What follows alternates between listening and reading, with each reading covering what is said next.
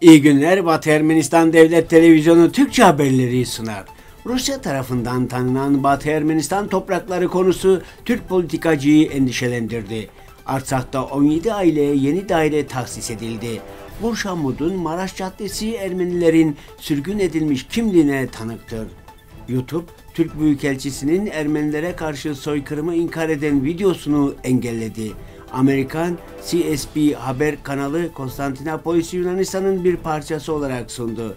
Ermeni Mimarisini Araştırma Vakfı Başkanı Rafi Kortoşyan'ın açıklaması. Barka bozuk, tulum dünyanın en eski Ermeni enstrümanlarından biri.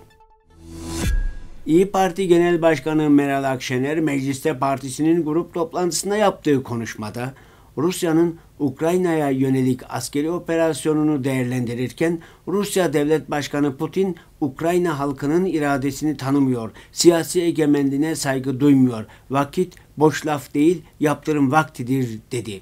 Erdoğan'ın bu saldırıya ilişkin tutarlı bir tavır almadığını belirten Akşener, Türkiye bu adımları atamayacak kadar Rusya'ya bağımlı hale getirilmiştir. İki ülke arasındaki ilişki dengeli ve simetrik değildir. Bu ilişki Rusya lehine asimetrik bir ilişkidir diyerek Batı Ermenistan'ın işgal edilmiş Kars, Karin, Erzurum, Ardahan'a da atıfta bulundu. Konuşmasında Akşener bahsi geçen toprakların eskiden Rusya'nın bir parçası olduğunu söyledi. Bayan Akşener her ne kadar Kars'ı, Karin Erzurum'u, Ardahan'ı Rusya'nın bir parçası olarak tanıtsa da Rusya'nın Batı Ermenistan'ın bağımsızlığını zaten 29 Aralık 1917 yılında tanımış olduğunu kendisine hatırlatırız. Artsakh Cumhuriyeti İskan Komitesi Başkanı Armen Mangasaryan, başkanlığında başkentin Tumanyan Caddesi'nde yeni inşa edilen konut binalarında 3 odalı dairelerin çekilişi yapıldı. Kaynağa göre çekilişe 44 gün süren savaşta şehit düşen veya kayıp olarak kaydedilen kişilerin 17 aileleri katıldı. Yakın gelecekte farklı sosyal gruplardan ailelere 130'dan fazla daire sağlanması planlanmaktadır. Beyrut'taki Burç Hammud'un Maraş Caddesi dükkanlarıyla mutfak gelenekleriyle Ermeni toplumu için açık bir penceredir. Burç Hammud'un girişinden başlayan uzun dar sokak küçük bakkallarla dolu. Panolar Arapça ve Ermenice yazılmıştır. İsimlerin çoğu Batı Ermenistan'daki Maraş şehrinden geliyor. Tembelyan, Nerses El Halabi, Garo veya Hano kafeterya gibi.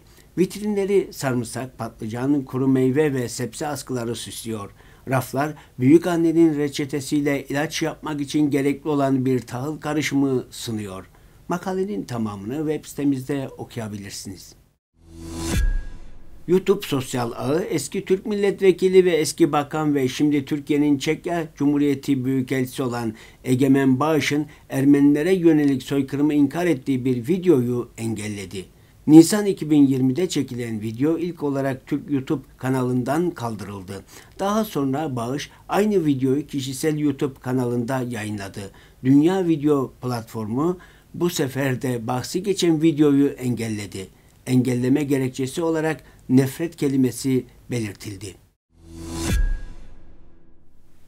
Rusya-Ukrayna savaşı hakkında yayınlanan haber sırasında Amerikan televizyonunda gösterilen bir haritada İstanbul bir Yunan toprağı olarak sunuldu. Amerikan TV kanalı Türk tarafının dezenformasyon haritası kullanımına ilişkin acil açıklama yapma talebine anında yanıt verdi. Olanlardan dolayı özür diledi ve hatanın düzeltildiği konusunda inandırdı. Gelecekte bu tür hataları önlemek için CBS News yayın sürecini gözden geçireceğini söyledi. Ermeni Mimarisi Araştırma Vakfı Başkanı Rafik Kortoşyan, Facebook sayfasında Azerbaycan'da Ermeni Anıtları Araştırma Fonu'ndaki arşiv malzemelerine karşı temkinli olmaya başladıklarını bildirdi. Rafik Kortoşyan'ın gönderisini sizlere sunuyoruz.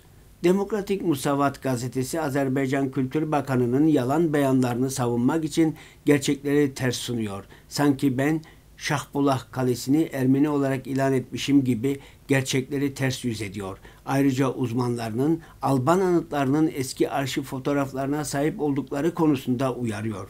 Eğer Ermenistan Cumhuriyeti uluslararası mahkemeye başvurursa davayı kaybedecekmiş. Kortoşan Zengin arşivimiz sayesinde Ermeni anıtlarına yönelik her türlü haksızlığı kanıtlayabileceğimizi tekrar hatırlatmak isterim. Dolayısıyla Lahey Mahkemesi'nin 7 Aralık 2021 kararından kaçınmak mümkün değil dedi. Batı Ermenistan topraklarında Barkabazuk Tulum adlı çalgının görüntüsü ilk kez Aintab kenti yakınlarındaki milattan önce 1300 yılına tarihlenen bir sarayın duvarında bulundu. Enstrümanın kökeni, ustaları ve çalan müzisyenler hakkında bilgiler çok azdır. Ancak Barkabuzuk hakkında bir Ermeni mitolojisi vardır. İlk Barkabuzuk örneği milattan önce 3000. yüzyıla tarihlenen bir Sümer antik bölgesinde bulundu. Ermenice'de bu enstrümanın birkaç adı vardır. Barkabazuk, Bıku, Barkabuku, Tik, Tıkçor. Bugün için bu kadarını öngördük. Şimdi size kolektif Metz Bazar topluluğu tarafından seslendirilen Ermeni halk şarkısı Leylim Lelle Mayro adlı eseri sunuyoruz. Sasna Yer Guhar Leylum